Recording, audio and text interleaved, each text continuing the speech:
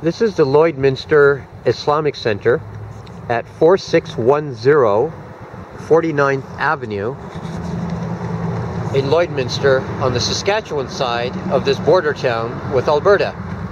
This has been stop or day 20 and night 21 of 30 Masjids Canada in Ramadan 2016.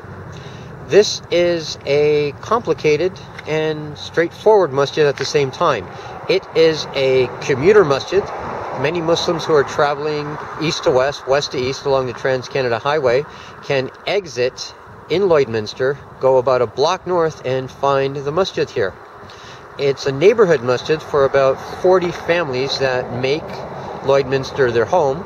Uh, some are professionals, some are in healthcare, others in petroleum, uh, agriculture. And then there are many, many hundreds of Muslims between Saskatoon and uh, Edmonton who, when traveling, do frequently pray at the masjid, though they don't live in uh, Lloydminster.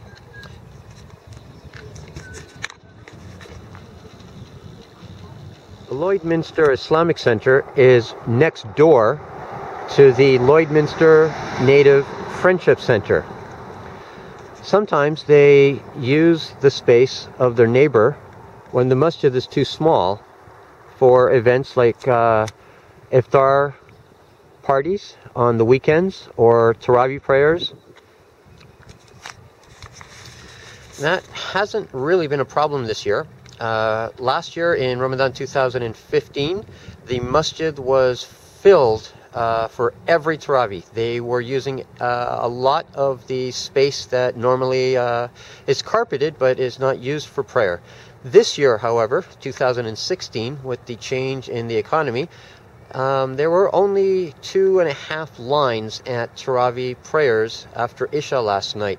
So things change, but the uh, masjid is still here. It's still used. It's still needed, and it's the um, only one in town. So everyone has to come here, get along, and uh, for people like me visiting, this has been a nice visit. Uh, a wonderful masjid, very friendly people.